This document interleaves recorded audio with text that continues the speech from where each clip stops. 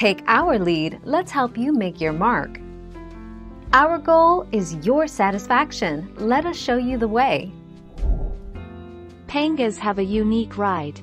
On plane Pangas ride on what is commonly called the pad, which is roughly the last one-third of the hull. This equals less friction and greater fuel economy. Standard V hulls plow through waves but Pangas skip across the water's surface.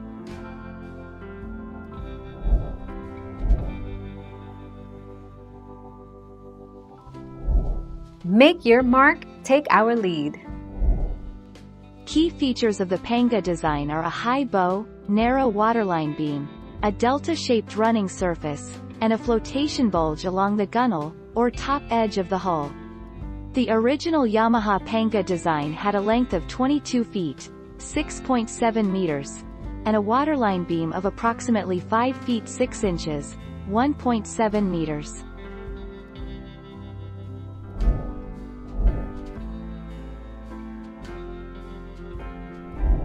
Make your mark, take our lead.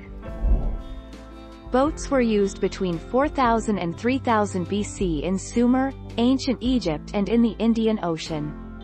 Boats played an important role in the commerce between the Indus Valley Civilization and Mesopotamia. Evidence of varying models of boats has also been discovered at various Indus Valley archaeological sites.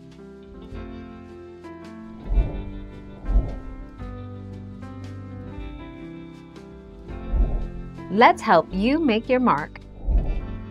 How much do Panga boats cost?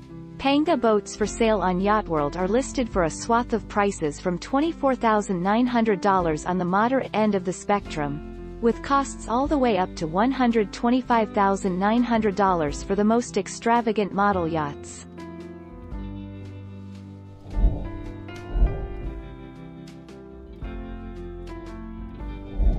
Make your mark, take our lead. Mexico City. We did it here first. In the 1970s, Mexican President Luis Echeverria authorized the building of pangas throughout the country.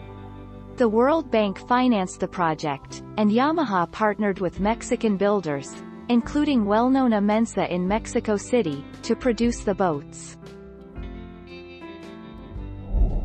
Thank you for watching. Please subscribe and hit the bell notification.